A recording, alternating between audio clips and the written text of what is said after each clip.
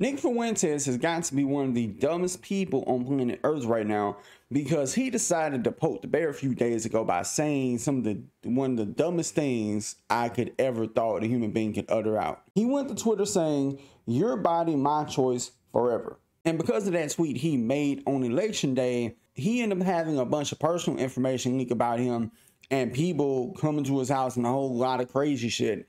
Now, people could look at this one or two ways. It's wrong, you shouldn't do it, no matter what. But at the same time, I'm of the mindset that if you say something extremely stupid or wrong or damn near batshit crazy, you need to handle whatever gets thrown your way. Like you can't say certain things online and then end up acting like the perpetual victim.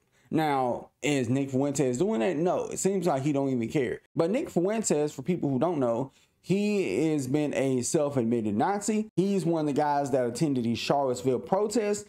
And then funny enough, he got denied admission to Auburn University in Alabama because of stuff like that. I don't even know why you would want to go to Auburn of all places. I mean, granted, Alabama has a history of racism and racists that probably still live there, but I think even those people would beat the hell out of Nick Fuentes for half the stuff he said.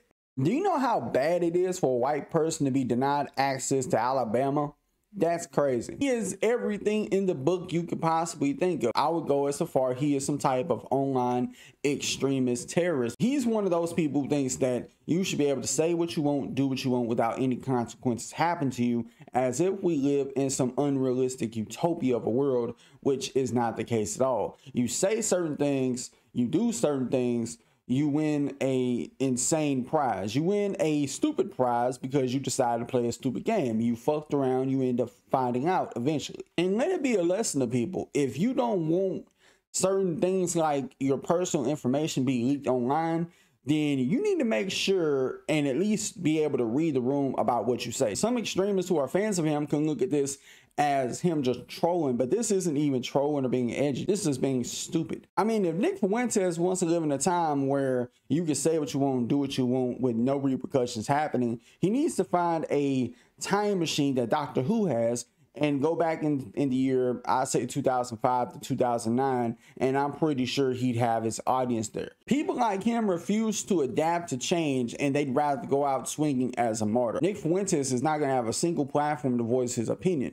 And people could say, well, people like myself and other YouTubers out there, or even people who are on Twitter, kind of still give him a little bit of relevancy by just pointing out what he said on Twitter or a clip he put on Rumble. But how I look at it is accountability. And it's one of the things you can't ignore. But one day it's going to happen. He's going to get banned from Twitter. He's going to get banned off of Rumble. And people can say, oh, Rumble don't ban anyone. I've heard people being banned on Rumble. And those people who love freedom of speech, they hate being banned off of Rumble of all places, which you got to do something really heinous to get banned off of Rumble. I'm just saying. And people take the whole notion of freedom of speech too literally. They think that you should be able to say and do what you want with zero repercussions when that's not how the world works. If the world worked like that, there would be no order. There wouldn't be any type of discipline being instilled. If people was allowed to say and do what they wanted, it would be looking like the purge every single day. Now, granted, I do believe in freedom of speech, but like anybody else does. But I wouldn't go as far as say something stupid that's gonna get me hit with a lot of vitriol and hate or worse. All this is is really you have to look at it like it's a job. Like you have to watch what you say, how you say it in order to maintain what you got. If you are a YouTuber doing this part time, you working at a full-time job, you need to make sure you toe the line to make sure nobody tries to harass you or try to go after your job to get you fired or whatever the fuck. Like, it's just not worth it. And you have to think like a business, move like a business, and ask yourself, does it make business sense? And if it don't, then just don't do it. Because you don't want to be that guy at work that's like, oh, I don't care about all these new rules and regulations that they have in place. I'm still going to do what I want. Oh, okay. And then you be surprised when they send you your walking papers. You have to play by the rules in order to win the game. There's people in this world that's willy nilly to throw away everything. They're willing to throw away their platforms they worked hard for. They they're willing to throw away jobs they work at that they probably desperately need, if we're being honest. And it just comes to show that those people don't care about their jobs, their brands, their platforms like they try to pump fake and act like that they do.